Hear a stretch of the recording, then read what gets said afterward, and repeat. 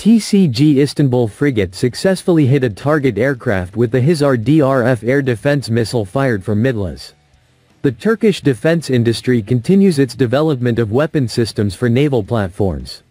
In this context, a new test firing was conducted from Turkey's first national frigate, the Milgem 5 TCG Istanbul, F-515, using the Hisar DRF air defense missile developed by Roketsan, using the National Vertical Launcher System, MIDLAS.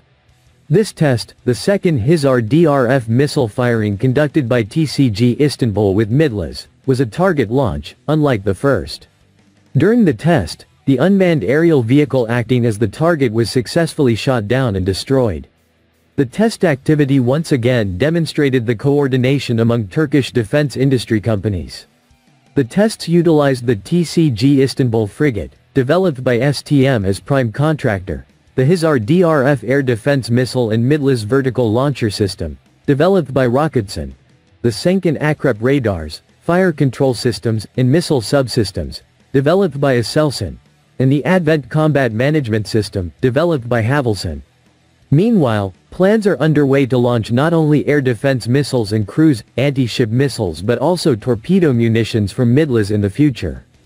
Integration efforts for SİPER Block 1 and Atmaca into Midlas are currently underway.